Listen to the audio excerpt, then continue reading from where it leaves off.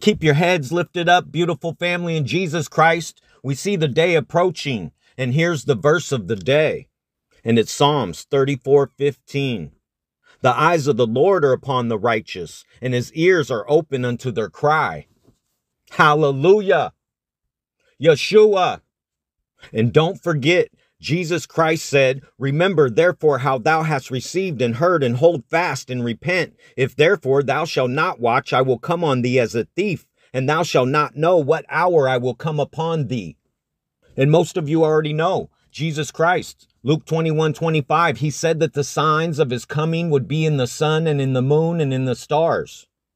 In the first chapter of the Bible, Genesis 1 14, and God said, Let there be lights in the firmament of the heaven to divide the day from the night, the sun, the moon, and the stars, and let them be for signs, and for seasons, and for days and years. And Yeshua has called me to show you the signs. So we're headed straight to the sun. And as you can see right here today on 1212, the sunspots that are earth facing are 3920, 3921.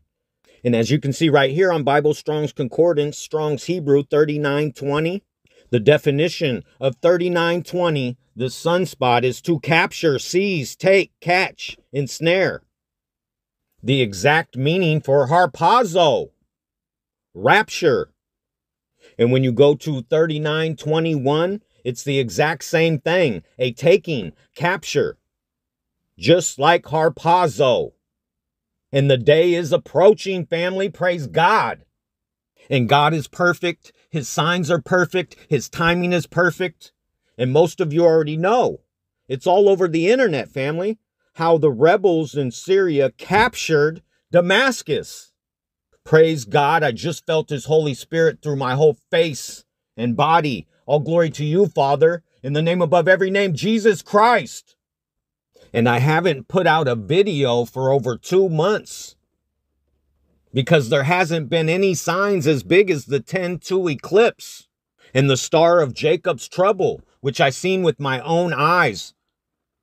And I watched changing colors, colors of the rainbow, constantly. And it was amazing, family. If you haven't seen it, you could do a search, and there's videos all over the internet of the Star of Jacob changing colors.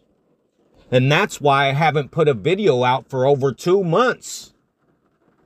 I don't just put videos out every day. I wait for Jesus Christ and Him to tell me and show me signs. And I'm not just going to put out a video to ask for donations to give food and drink to the lesser of the brethren or to help me. And praise God, all glory to our Father for every single one of you that have ever helped me. I've been struggling and barely paying my bills and getting by. And I do need help. And I would love to hand out more packs and with Bibles and supplies and tents for Christmas. So if Jesus Christ is leading you to donate, all my information is under this video in the description box. And now I'm going to show you what else I'm seeing. And I'm about to show you something that I've never seen before. All glory to our Father. And when you go to time and date, you could see it right there at the bottom. The new moon on December 30th, which is Christina's birthday, is at 2226 Universal Time. And here's what's gigantinormous that I've never seen happen before. When you go a fortnight ahead to the full moon, after that new moon at 2226, the full moon on January 13 is at the exact same time, family, 2226, back to back. And the full moon and the new moon, biblically, are the appointed times. And remember, the signs are in the sun and in the moon and in the stars. In all glory to our Father, I showed you the asteroid Yeshua years ago. All glory to you, God. And I've been showing you all these biblical asteroids that He's been showing me for years, and I've been tracking them. And right now, today, you can see Yeshua is right there. And as you go through the days, and you pass this year, you could see January 20th, inauguration day, the asteroid Yeshua is directly in the sun, family. That's God's perfection. And as you can see right there, what they call Venus, the wandering star, that they call a planet, is in conjunction with the other wandering star that they call Saturn the day before the inauguration day. It's not a coincidence. This is God's perfection. His signs are in the sun, the moon, and the stars. And if you keep following his signs, it's going to lead us directly right to the rapture. And the day after, January 21st, you could see right here, there will be six what they call planets visible. Leading up to January 21st, the planet parade, the planetary alignment, that is also God's perfection.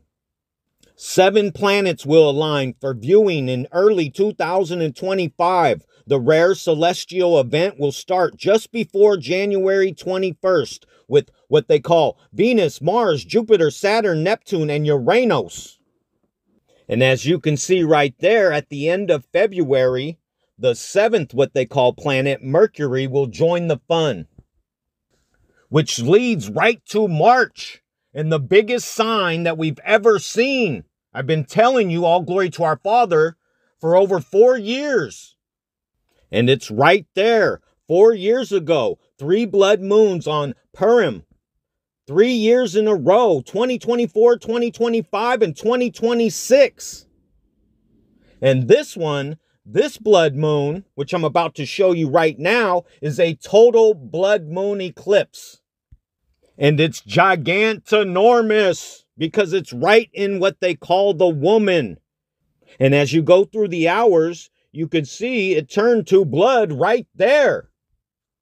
And there it is on 313 going into 314. The eclipse is right there. The total blood moon eclipse, family. So keep your heads up. And you can't limit God. Anything can happen, and it could happen overnight. And speaking of it happening overnight, I'll remind you all glory to our Father.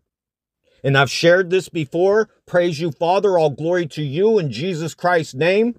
And you all know Isaiah chapter 17, verse 1. The burden of Damascus. Behold, Damascus is taken away from being a city, and it shall be a ruinous heap. Well, that chapter is only 14 verses long. And when you get to the last verse, the word says, And behold, at evening tide trouble, and before the morning he is not. This is the portion of them that spoil us, and the lot of them that rob us. Well, here's what's gigantinormous. The next chapter, Isaiah chapter 18, is only seven verses long. And when you get to Isaiah chapter 19, the first verse, the burden of Egypt. Behold, the Lord rideth upon a swift cloud, and shall come into Egypt, and the idols of Egypt shall be moved at his presence, and the heart of Egypt shall melt in the midst of it. It's Jesus Christ coming on a cloud. Keep your heads up, family. We're going home soon.